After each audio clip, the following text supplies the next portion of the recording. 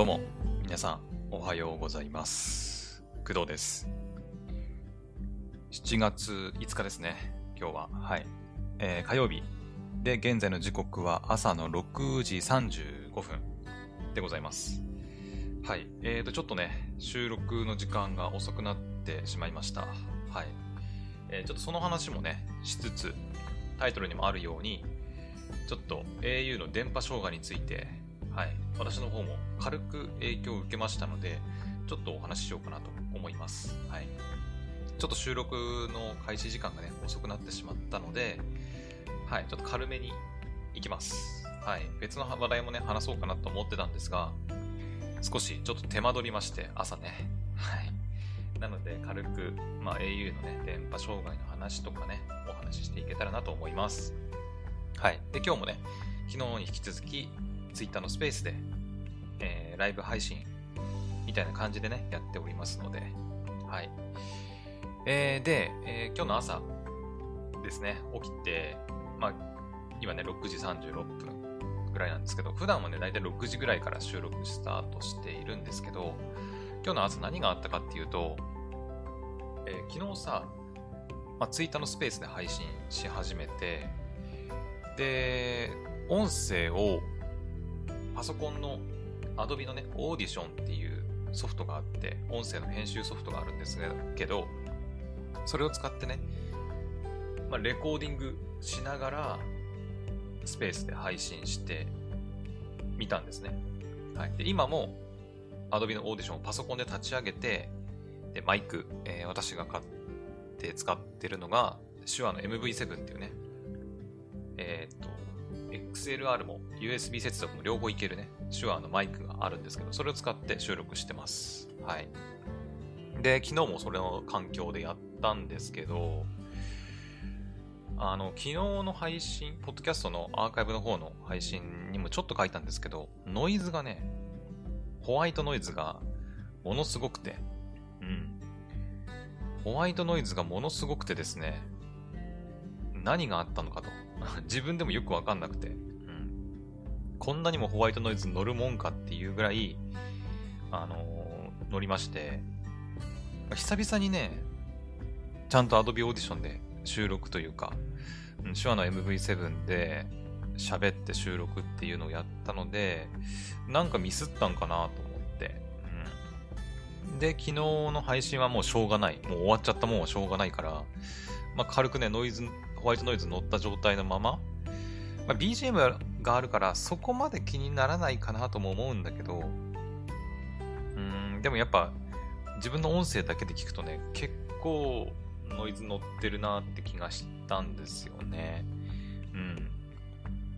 昔の音声聞いてみると結構クリアに撮れてるんだけど、うん、昔の私がね、どうやってあんなに綺麗な音にしてたのかがもう全然わからないんだよね。うん、で、今日の朝ね、その、起きて、そのホワイトノイズの除去の方法をね、いろいろ探ってたんだけど、かけてるエフェクトについては、まあ、前回じゃないや、昔、まあ、1年くらい前の私が使ってた、使ってたものと何にも変わりないんだけど、全く同じようにね、エフェクトかけて、ノイズ除去して見たんですけど、なんかむしろね、ホワイトノイズでかくなるっていううん、ことになっちゃって、あれ？みたいな。おかしくね？みたいな。うん。なんだろう？よくわかんないんだよね。うん。で、それで今日朝ね、起きて、いや、こうでもない、ああでもないっていうのを、こう、Adobe Audition の、まあ、何？機能というか、エフェクトと格闘してて、ちょっとね、はい、収録が遅くなってしまいました。はい。で、今ね、まあ、6時39分ぐらいで収録ね、始めてみたんですけど、今もね、別に解決したわけではなくて、もうとりあえずやらないと、もうこのままだと7時過ぎちゃうぞと思って、もう、うん。なので、今回の配信ももしかしたらノイズ乗ってるかもしれないんだけど、うーん、なんだろうね、その、Adobe の方のアップデートが入って、ノイズ除去のまあアルゴリズムというか、なんか性能がちょっと変わったとかなのかな。うん。あとは、そうだね、考えられるとしたら、その私のね、オーディオインターフェースに接続して、まあ、手話のマイクね、手話のマイクをオーディオインターフェースに接続して収録してるんですけど、マイクの原因がでかすぎるっていうのもあるかもしれない。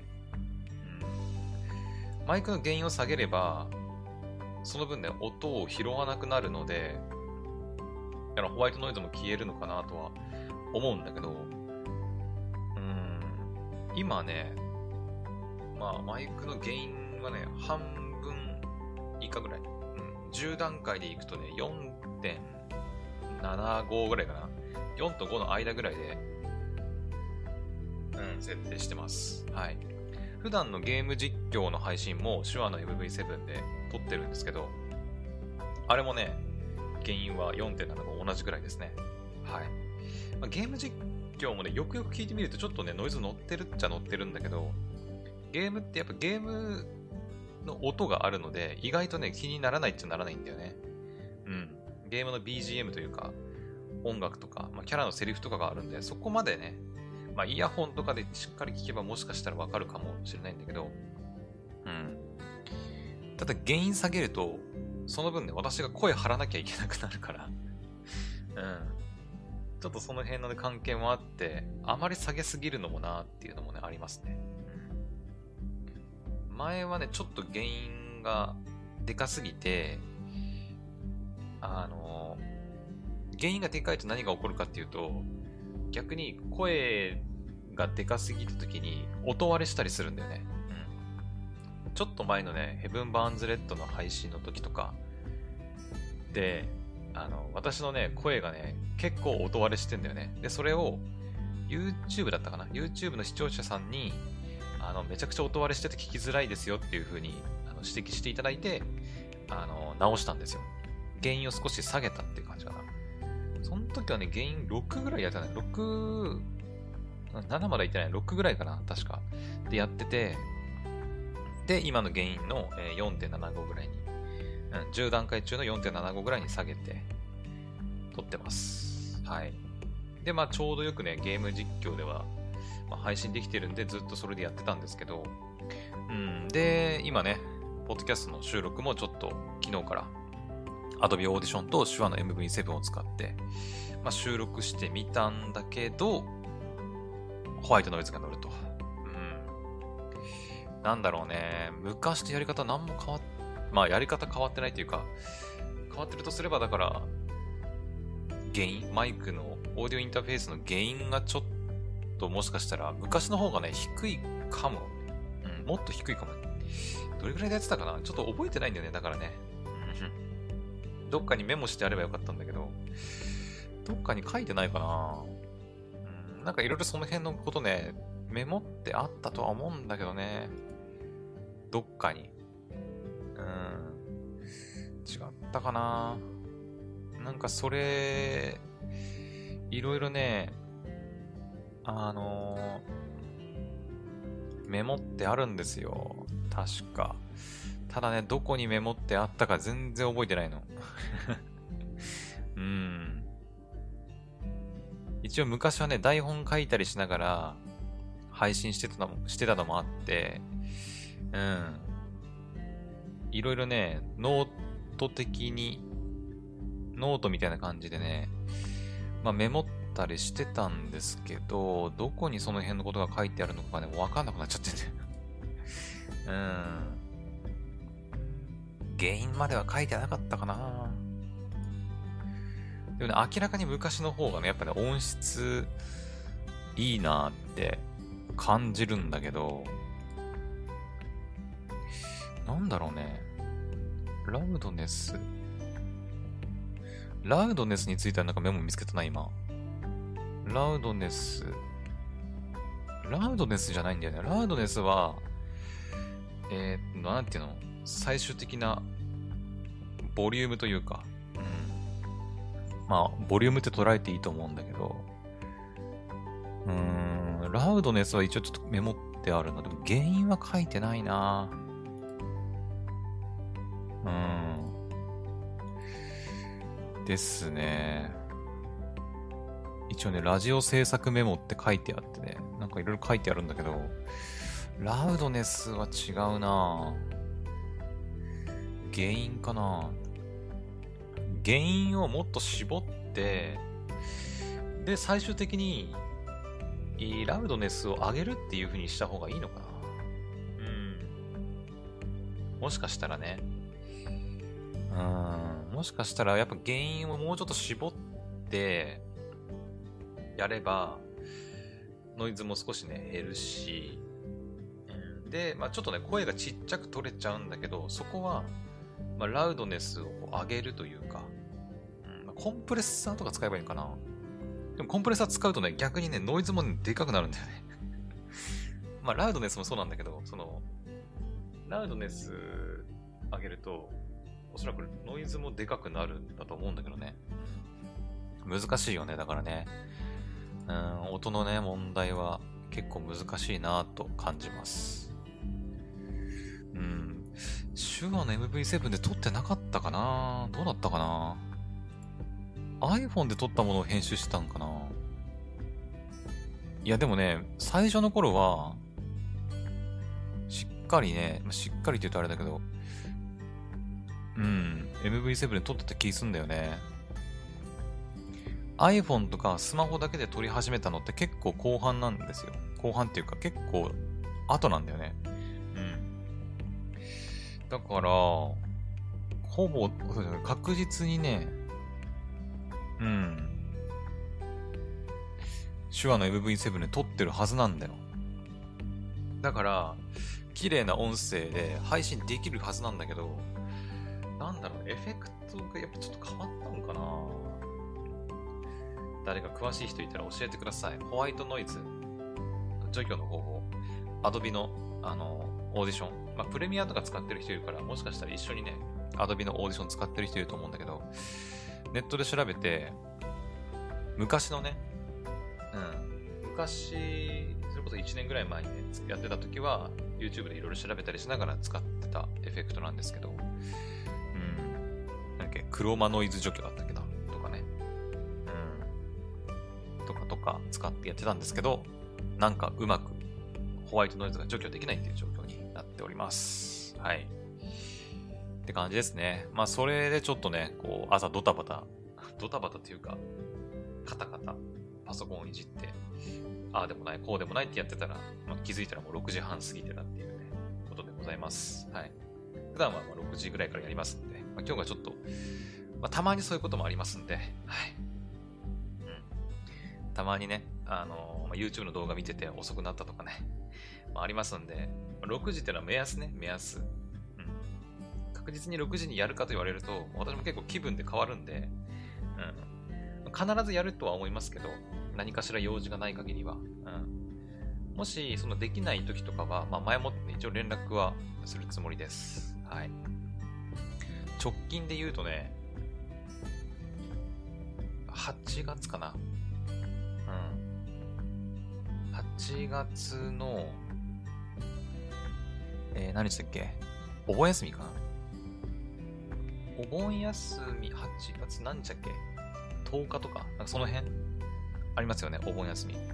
あの辺、その辺の時期に、ちょっとね、えっ、ー、と、祖父母の家にこう行ったりすることがもしかしたらあるかもしれないので、まあそういう時は、あの、祖父母の家ね、Wi-Fi 環境がないので、なかなかね、ちょっとスマホもこう満足に扱える環境じゃないので、うん、っていうのもあって、もしかしたらそういう時とかはね、お休みさせてもらうかもしれないんですけど、まあ、それ以外は基本的にもう毎日、うん、朝ね、まあ、6時くらいかな、うん、を基本として配信していきますので、はい。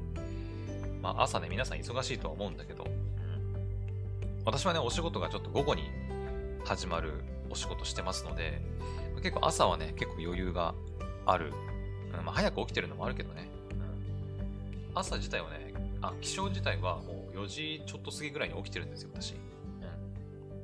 うん、で、4時ぐらいに起きて、もう布団の中でね、まあ、ずっと漫画読んでるんで、ね、漫画読んでて、あ、もうすぐ5時になるなっていう段階で、やっとベッドから降りるという感じです。で、そこから、まあまあなんか、朝の体操をしたりとか、で、今日のクドラジ何喋ろうかなっていうのを考えたり、まあ、YouTube でね、溜まってる動画見たりとか、はい、して、そうするとまあ大体6時ぐらいになるかなっていう感じです。はい。私結構早く寝るんでね、夜中に YouTube の動画ね、更新されたやつとかはもう朝に見てるんですよね。うん。なので、まあ大体6時くらいからね、配信になるかなと思います。はい。というわけで、まあちょっとだいぶね、あのメインの au の電波障害の話が、あの、に入るまでちょっと長くなっちゃったんですけど、えっ、ー、と、au の電波障害どうだったみんな？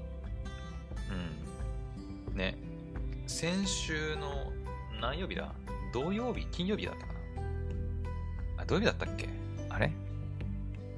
ね、ありましたよね。電波障害。うん。なんかテレビとかでもね、ニュースになってて、電波障害自体は金曜日くらいから始まったんかな私の家では、あの、私自身は影響は受けてないんですけど、私はね、楽天モバイルを使っていて、楽天回線が繋がってますので、まあ、うん、回線、au の電波障害の影響は受けてないんですけど、ただまあ楽天も、あれですよね。あ今完全に移行したのかな？どうだったっけ？あの楽天モバイルってさ、楽天回線が繋がらない場合は、パートナー回線エリアって言って、確か au の回線に繋がるようになってると思うんですけど、うん。ただ今もう回線カバー率90何パーセントとかだから、楽天の回線のね。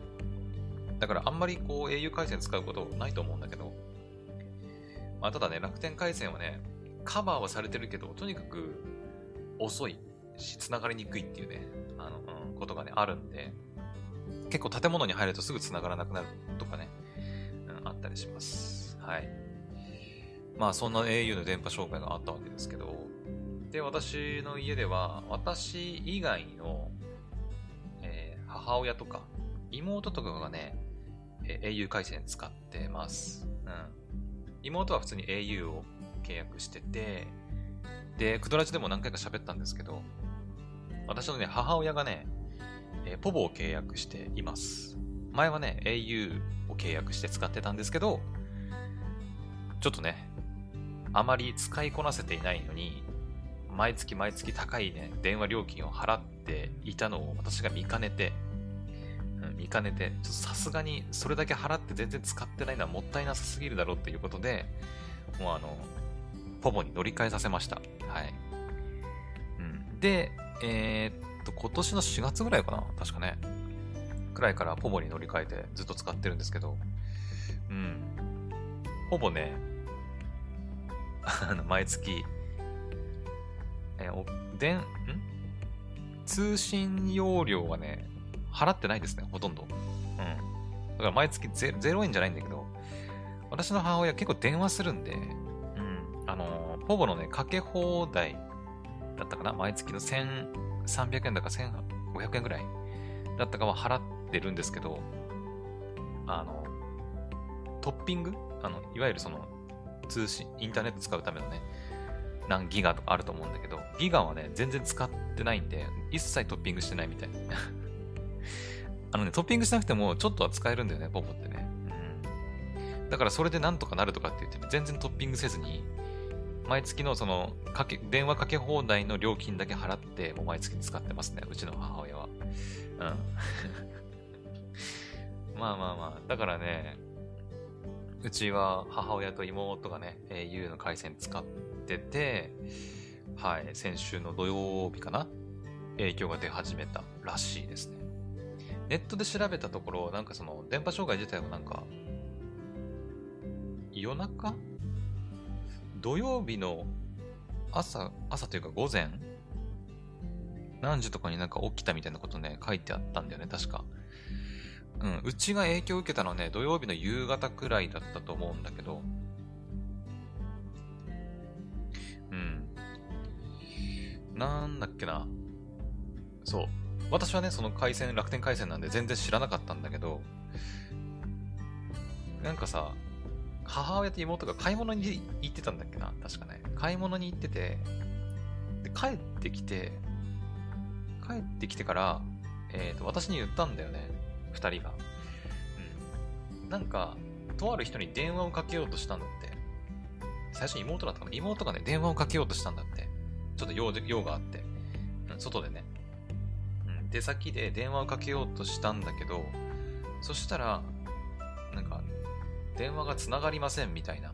かけられませんだったから、なんか、ような、なんか、メッセージが音声で流れてきて、電話かけられないんだよ、みたいな。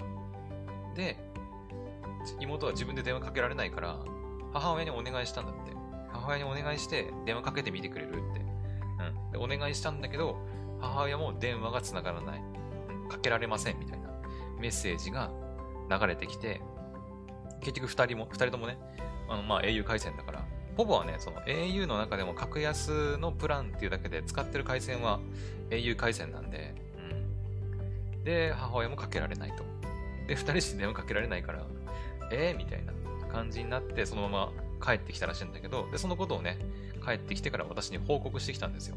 うん。で、私もそれ聞いて、え、なんでかけられないの？みたいな。で、二人が言うには、なんかね、とあるその、おばさんだったかな？なんか、私、私詳しく知らないんだけど、なんかとあるおばさんに、妹が用事があって電話かけようとしたらしいんだけど、で、二人して、その、おばさんにね、電話をかけたら、あの、電話が繋がらなかったと。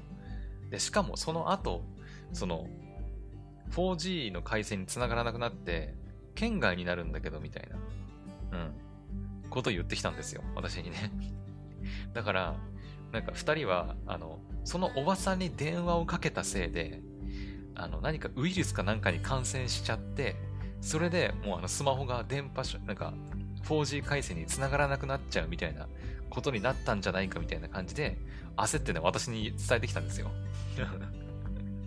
そう。で、私がね、え、そんなことある？みたいな。うん。そんな、まあ、見知らぬおばさんってわけではないらしいんだけど、一応なんかその、実際にリアルで会った人なのかな？うん。で、用事があって電話をかけたらしいんだけど、そんなおばさんに電話かけたくらいで、電話にかけてウイルスにかかることなん、電話かけてね、ウイルスにかかることなんてあるみたいな。うん。実際かかってないしね。うん。実際かかってないんだけど、電話をかけてすぐぐらいに繋がりません。そしてしかも 4G 回線繋がりません。みたいな。県外ですみたいな感じになったもんだから、二人はね、焦って、え、これ、おばさんに電話かけたから、なんかウイルスに感染して電波障害になったみたいな。電波障害でね、県外になっちゃったんじゃないみたいなことでね、焦ってね、私に伝えてきたんだけど、いやいやいやいやって感じで、うん、ちょっと待てよと。そんなことあるみたいなね、うん、思って、で、私がね、あの、ちょうど飯食ってる時間だったんだけど、うん、夕飯食ってる時に、そんなことある？と思って、ネットでね、あの、調べました。うん。いや、それってさ、電波障害かなんかじゃねえの？みたいな。まあ、よくその、ね、NTT もあったんだっけ ?NTT とかさ、まあソフトバンクとか、もうたまにありますよね。うん。そういうなんか、キャリアの電波障害。うん、あるんで、まあそういう電波障害的なやつじゃな、やつじゃないの？みたいな。その前に最初で再起動させたんだよ。そう。たまにありありますよね。なんかね、その、端末の不具合でさ、県外になっちゃうみたいなことたまにあるんだけど、とりあえずそういう時は、まあ、一旦再起動かけるっていうのが、まあ、まあ、ベストなんですけど、うん。で、再起動かけさせて、二人ともね。なんだけど、治らないって言って。再起動してもダメみたいな。もうダメかもしれないって。ウイルスに感染したかもしれないみたいなことを言い出して、えー、みたいな。マジで？みたいな。うん。そんなことある？と思って、いやいや、電波障害やろうと思って調べたら、もうね、まさに、うん、au、電波障害、あ、違う、県外だから電波障害とか調べたら、もう、パーンみたいな感じで、Yahoo ニュースとか出てきて、なんか、なんでなんだっけな、その夜か、その日のもう朝、あ、なん違う、土曜日の朝っていうのが、まあ、夜中か、夜中ぐらいに、au の電波障害が発生してて、朝起きたら au のユーザーの人たちが、えっ、ー、と、なんだっけ、スマホが圏外になって、電波が繋がらない状況になってて、もう au のサポートセンターに電話の問い合わせがぐわー来てるみたいな、うん、ことがネットニュースになってて、ホラーみたいな、やっぱり、みたいなね、うん。まあそんなようなことがね、ネットニュースに書いてあって、うん、やっぱ au の電波障害や、みたいな。さすがに、誰かに電話かけたくらいで、ウイルスには感染せんやろと思ってね。うん。まあ、まさに正解でした。はい。うん。まあ、というわけでね、うちは母親と妹がね、まあ、なんか、誰かに電話をかけようとして、かけられなくて、で、なんか焦ってね、ウイルスに感染したんじゃねえかみたいな話になりましたけど、まあ、結局ね、au の電波障害で、うん。まあ、電波が、電話がかけられないとか、ね。まあ、4G 回線につながらないっていうことだったみたいです。はい。今どうなんだろう？もう復旧してんのかな？どうなんだろう？ちょっと調べてみようか。てか、いまいちね、あの、私もね、原因よくわかってないんだけど、結局 au の電波障害ってあれ何が原因だったの？あれ。えー、っと、au。あ、違う違う違う違う。au の電波障害。えー、原因か。うん。設備故障に伴う VOLT 交換源トラフィックの、えー、よくわかんねえや。うん。最初、その、えっ、ー、とね、私の家はですね、まあ、私が住んでるところ以外にも、その家族、他のところ、ちょっと離れたところにね、住んでる人もいるんだけど、で、もしかしてこの近辺だけなのかなと思って。まあでもネットニュースでなってるぐらいだから、この辺だけじゃないんだろうなと思って、ちょっとね、離れたところに住んでる、宮城かな？宮城に住んでる家族に確認して、で、その人も、えっ、ー、と、au の、うん、キャリアのスマホね、使ってるんですけど、で、聞いたら、あの、電話してみてって、あの、こっちにで、あまあ、LINE はね、あの、うち Wi-Fi はあるから、LINE で、あの、まあ、で、ちょっと電話してみてってお願いしたんですよ。そしたら、向こうも電話かけられないと。ってなって、あ、これ全国的なもんだなと。うん。ここだけじゃないぞと思って、ね、後々確認したら、もう、ね、もう朝のテレビのニュースになるくらい、なんか結構すごいことになってるみたいで。うん。すごいな。これなんだ？通信障害に不満を持った高齢男性が au ショップで大声とかって、福岡で警察が出動する騒ぎになってるらしい。すげえな、これな。結構、なんか、やっぱ大事になってるんだね。えー、通信障害まとめ。これ NHK のニュースだね。NHK のニュース。そう、2日の未明だね。2日の未明って、2日って言ってたっけ？やっぱ土曜日か。土曜日の朝だね。だから未明って12時、0時か。0時過ぎたぐらいだったよね。確かね。うん。そうそうそう。で、私のうちで、あの、通信障害が確認できたのが、だいたいその2日のね、夕方だったんですけど、その時点で Yahoo ニュースとか見ると、復旧のめどは立ってませんみたいな感じで書いてあって、はぁみたいな。そう、日曜日にね、確かに妹出かけるって言ってて、外に。外に出かけるって言ってて、今のところ復旧の目では立ってませんって書いてあって、もうね、なんかね、マジかよ、みたいな感じでしたね。うん。まあさすがにその au のサポートセンターになんかもう問い合わせて文句言うみたいなことはしませんけど、結局さ、やってもしょうがないじゃん、そんなのさ。電波障害なんだから、うん。電波障害なんだから、まあ何かしら対応はしてるのは当たり前だし、うん。それに対してわざわざさ、あの、なんだ、au のサポートセンターに電話して繋がらないんだけど、ああだこうだ文句言ったってさ、うん。あの、ね、逆に、復旧に時間かかるんじゃねえかなと思うんだけど、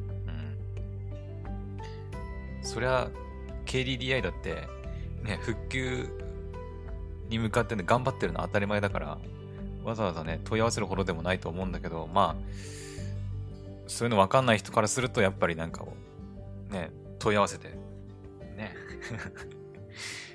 繋がんねえんだけど、みたいなさ、こともあるんだろうね。うん。で、全面的な復旧っていうのはまだなってないっぽいけど、えー、あ、でも、4日の午後4時時点で全国でほぼ回復したと発表しているみたいだね。うん。全面的な復旧の判断は5日の夕方。今日かだね。7月5日だから、そうだね。5日、今日の夕方ぐらいには、もうほぼ全面復旧するらしいね。はい。まあ良かったのか悪かったのかはわかりませんけど、で、結局何だったんだろうね。すごいね。au の、あのー、電波障害で、ヤマトが、なこれ、PUDO、プ、プドゥかな？なんだろう、利用の発送受け取り一部でできずとか、バス走行位置、到着時間予測システム使用できずとか。すごいね。なんかいろいろ影響受けてるんだね、やっぱね。え、これ、ん？違うな。これ関連ニュースか違う。ちょっと待って、なんか、ん ?NHK のこのサイト見にくいな、なんか。うんうん。まあまあまあ、でもいろんなとこが影響を受けたんだろうね。うん。まあ、そうだね、ポボ。あ、そう、UQ モバイルもあるね。確かに。そっかそっか。あれも au 回線だもんね。うん。UQ モバイル、ポボの通話やデータ通信が繋がりにくい状況。物流面など暮らしの広い範囲に影響が出ましたと。なるほどね。うん。代替手段で Wi-Fi だったりデータ通信の併用も重要。まあそうだよね。だから、家、私も、うちもそうですけど、やっぱ Wi-Fi があるかないかで違いますよね、やっぱね。うん。家に固定回線とか、あとは他のキャリアの、なんだ、モバイル Wi-Fi とか、うん、を使ってるとかしないと、うん、いけなかったのかなっていう気はしますね。うん。一番やばかったのは多分、あれじゃない ?au 使ってて、スマホの au のキャリア使ってて、かつ、モバイル Wi-Fi のキャリアも au みたいな。UQ のなんか、モバイル Wi-Fi みたいなの使ってるとかさ。今なんかその、回線工事のいらない Wi-Fi って多分あると思うんだよね。その私みたいにがっつりパソコンでさ、ネインターネット使ったりする人じゃなければ、なんか、そういうモバイル Wi-Fi みたいな、うん。そのキャリアの 4G とかの回線、5G とかの回線を拾ってきて Wi-Fi に変換するみたいなね、ものがあると思うんだけど、まああれはあれで手軽だからね、いいと思うんだけど、こういう電波障害が起きた時に、まあ au の電波拾えませんとかっていうのあるので、うん。まあこれもね、やっぱリスク分散だよね。うん。前もなんか、何の話でリスク分散の話したんだっけ？あれだ、ASMR か。うん。YouTube でね、ASMR の動画が規制されたみたいな話があった時に、ま、YouTube だけじゃなくて他のプラットフォームでもね、こう動画投稿してたりすれば、まあまあまあ、YouTube で何かあったとしてもね、なんとかやっていけるんじゃないかみたいな話をした時に、やっぱり何事もリスクを分散した方がいいんじゃないかなっていう話をしましたけど、まあ、今回の話もやっぱそうだよね。うん。やっぱ全部ね、やっぱ au とか、まあ、ドコモとか、ソフトバンクとか、まあ私で言うと楽天とかでまとめると、やっぱお得な部分ってあると思うんだけど、ポイントが貯まったりとかさ、割引が効いたりとかあると思うんだけど、なんだろうね、やっぱ一つのサービスというか、一つの会社のサービスをメインで使い続けるのって、やっぱ何かあった時に困るんだよね。うん。ね。だから今回の au で言うと、スマホの au を、ま使うのはいいんだけど、そのスマホが電波障害で使えなくなった時に、えっ、ー、と、まあ、モバイル Wi-Fi の au を使ってると、それも繋がらない可能性が出てくるので、やっぱり他のキャリアでも、その、電波拾ってこれるモバイル Wi-Fi を使うとか、あとは、まあ、固定回線のインターネットを引いておくとか、うん。あとはまあスマホだけでできるとしたら、デュアル SIM に対応してるスマホを使って、ね、他のキャリアのやつで通信するとかさ、まあ、デュアル SIM はね、まあ、対応してるスマホも限られてくるとは思うんだけど、iPhone とかってデュアル SIM 対応してたっけ？どうだったっけうん、Android とかはね、対応してるものもあったり、してないものもあったりね、するんだけど、うん。とかとか、まあそういった感じで、まあ、ね、対策の仕様はあるっちゃあるけど、うん。まあ、うちもね、Wi-Fi 引いてあったんで、うちにいる限りはね、まあ、県外にはなりますけど、4G はね、4G は県外にはなるけど、まあ、固定回線の Wi-Fi があるんで、まあ、インターネットは全然何の問題もなく使えてたしね。うん。まあ、LINE もインターネットを使ってね、で、通話とかもできるし、まあ、そこまで被害を被ったわけではないですけど、まあ、やっぱりちょっと出先に出た時に、うん、出先でインターネット繋がらないとかね、電話できないとかってなるとやっぱ不便だなっていう気がしますね。うん、出先でね、フリー Wi-Fi 使ったりするのは正直おすすめはしないな。うん。ですね。まあ、モバイル Wi-Fi を持っていくとかなら自分でね、契約して、それこそ au の電波障害があった時のために他の電波を拾えるモバイル Wi-Fi を所持して行くんだったらまだいいんだけど、自分でね。いいんだけど、その、出先、まあ、お店で出してる Wi-Fi とかであれば、まあまあ、いいとは思うけど、例えば、なんだ、Mac とか、私はあんま外でフリー Wi-Fi 使ったりしないからわかんないんだけど、えー、Mac とか、まあ、スタバとかもあんのかなそういうお店で出してるフリー Wi-Fi。たまにその座席とかにさ、なんか Wi-Fi のパスワード書いてあったりすると思うんだけど、まああれもね、ちょっと、うーん、ね、もしかしたら悪意のある人がさ、なんか偽物みたいなものをテーブルに置いておくみたいな可能性もないこともないからさ、うん、ちょっとどこまで信用していいかね、わかんないんだけど、まあ、ホテルとかもありますよね。ホテルね、ホテルとかもたまにこう、Wi-Fi の、まあ、ホテルとかであればまあ、大丈夫だと思うけどね、さすがに。ホテルの管理の人たちがね、掃除した後にそういうメモとか置いてあるわけだから、まあ、ないと思うけど、まあ、そういうまあ、お店で扱本当に扱ってる Wi-Fi、フリー Wi-Fi 使うんであればまだいいと思うけど、うん、今の時代ね、まあ、誰がどんな、なんか悪意を持って、そういうフリーの Wi-Fi とかをね、設置してるかわかんないからさ、うん。簡単にね、パスワードとか、情報をね、抜き取られる可能性もあるんで、やっぱ、外に出た時にフリー Wi-Fi に接続する際は、かなり用心した方がいいとは思いますね。安易になんかフリー Wi-Fi つなげちゃうと、スマホのね、データ抜き取られる可能性ありますので、うん。フリー Wi-Fi はおすすめしないです。うん。まあ、注意するぐらいだったらやっぱつなげないっていう、フリー Wi-Fi にはつながないっていう風に、まあ、決めた方が、まあ、楽っちゃ楽かな。考えなくていいから。まあ、ホテルとかだったらまだいいような気もするけどね。うん。その辺あんま詳しくないよってなんかあんまり考えたくない、わからないよっていう人はもうとにかく繋がないのが一番ですね。うん。はい。まあ、自分で契約しているもの以外は繋がないっていう風にした方が、まあ、一番安全っちゃ安全かなとは思いますね。はい。というわけで、あの、まあ、au のね、電波障害。まあ、まだまだ完全復旧には至ってないみたいですけど、うん。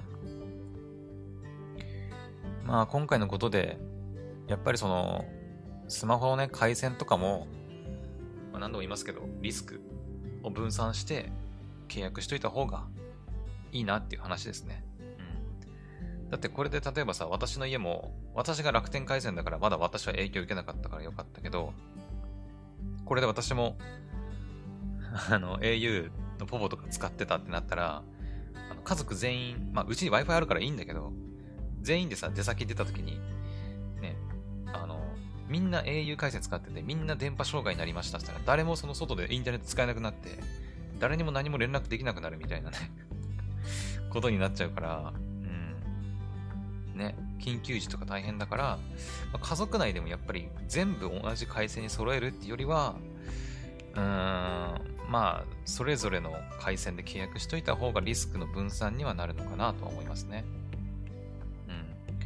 まあ、それがちょっとっていう人、やっぱり家族でね、使ってる人って、なんかファミリープランじゃないけど、ね、ありますよね。なんか今、大量のギガをさ、ファミリーでシェアするみたいなのありますけど、そういうの契約してる人は、やっぱりデュアルシムとか、うん、を使うとか、あとは、サブのスマホを使って、なんか安い、格安のね、別回線の、キャリアを契約しておくとか、まあ何かしらそういう手段は取った方が、まあ、いざという時は安全なのかなと思いますね。うん。はい。というわけで、あのー、私のうちでは、私は影響を受けなかったけど、私の母親と妹たちが、はい、au だったり、ポボだったりを使ってますので、はい、ちょっとね、影響を受けましたというお話でした。はい。あまあ、皆さんはどうだったのかな ?A の電波障害ね。うん。まあでもなんかね めちゃくちゃ問い合わせが殺到してたり、エイジショップで高齢男性が大声を上げて警察が出動する騒ぎになったりしてるみたいなんで、やっぱ全国的にも結構でかいニュースだったのかなと思いました。はい。まあ、皆さんもね、あの、なるべくリスクを分散してね、まあ、いざという時のために備えておくのがいいかなと思います。はい。じゃあ今回の配信はね、この辺にしとこうかな。はい。まあ、今回のね、収録、まあ、Adobe Audition で撮ってますけど、果たしてノイズは綺麗に除去できるのか？はい。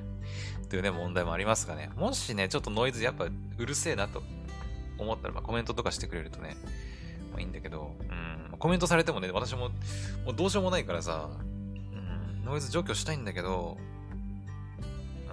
なんか言う方法ねえかな。ね。やっぱり原因を下げて、ノイズをなるべく減らした環境でもう、私が声を張るしかないのかね。そしてあとまあ、ラウドネスで音をこう、上げるみたいなことをやるしかないかな。なんだろうね。はい。まあ、その辺のノイズ問題に関してはちょっとまた、この配信の後ね、やりたいと思います。はい。それでは、今回の配信はここまでにしたいと思います。また次の配信でお会いしましょう。バイバイ。